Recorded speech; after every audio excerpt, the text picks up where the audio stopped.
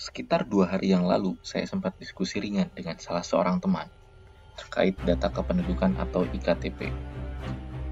Topiknya hanya satu, yaitu terkait privasi data penduduk dalam data kependudukan atau yang tercantum dalam IKTP.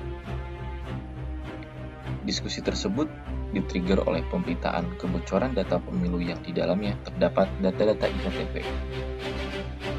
Kemudian juga teringat pemberitaan hampir setahun silam tentang tercecernya ribuan IKTP di sebuah tempat pembuangan sampah. Walaupun ada yang bilang itu adalah IKTP reject atau yang gagal cetak, tapi apakah informasi yang tercetak di belangko IKTP tersebut juga tidak valid? Oke, kita kembali lagi ke bahasan utama tadi. Kerahasiaan data kependudukan sudah diatur dalam Undang-Undang Nomor 24 Tahun 2013 tentang perubahan undang-undang terkait dengan administrasi kependudukan.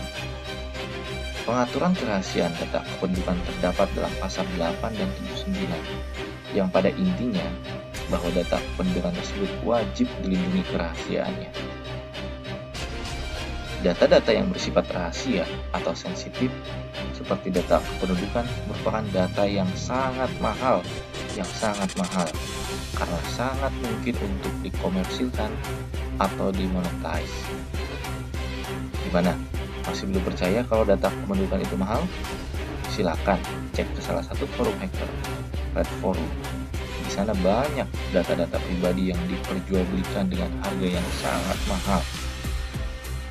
Di samping itu, data IKTP kita sudah menjadi basis data untuk pendaftaran semua layanan, mulai dari perbankan, imigrasi, perizinan, komunikasi seluler, hingga pemakaman semua diminta terkait data IKTP. foto atau gambar KTP kita yang ada di internet kini dapat dimanfaatkan oleh pihak tidak bertanggung jawab. Salah satunya dalam pengumpulan data kependudukan. Salah satu tools gratisan yang dapat melakukan pengumpulan data kependudukan melalui foto IKTP tersebut adalah Tesseract OCR. Oke, kita langsung saja ke video demo dari penggunaan tool tersebut dalam mengumpulkan data kependudukan IKTP melalui gambar-gambar IKTP yang telah berserakan di internet.